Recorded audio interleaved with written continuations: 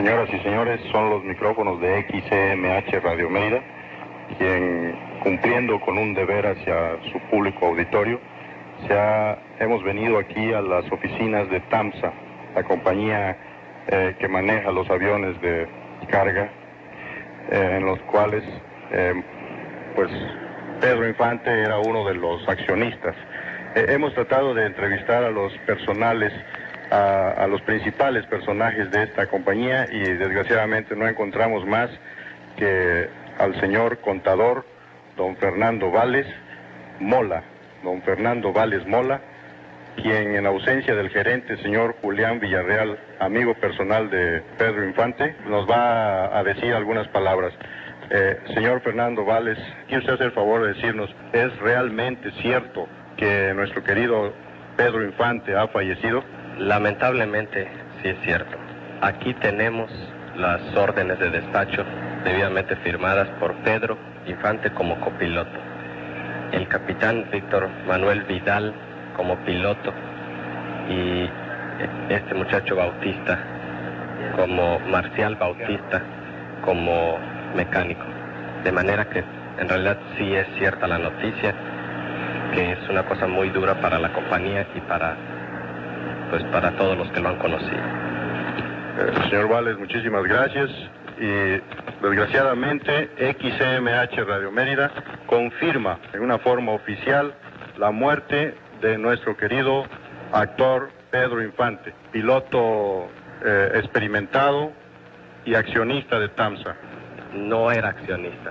Hay rumores de que es accionista, pero no es accionista de esta compañía. Ah, bueno, muchas gracias, señor Vales, perdone. Eh, nuestros micrófonos regresan hasta el lugar de los hechos, son XMH Radio Mérida, que siempre informando a su auditorio de todo lo que acontece en la ciudad de Mérida. Amigos, ya han tenido ustedes oportunidad de confirmar la noticia por medio de esta transmisión que hemos realizado inmediatamente conectando nuestra línea con el teléfono de las oficinas de TAMSA. El señor Fernando Vales eh, nos ha leído la hoja de despacho debidamente firmada por los tres tripulantes cuyos nombres han oído ustedes. El capitán Vidal, el copiloto Pedro Infante Cruz y el mecánico Marciano Bautista. En verdad, es una noticia terrible la que ustedes están recibiendo y nosotros también, porque todos en la República Mexicana y el continente hemos admirado y hemos sabido comprender el valor artístico de este gran artista mexicano, Pedro Infante Cruz. Tenía 38 años de edad.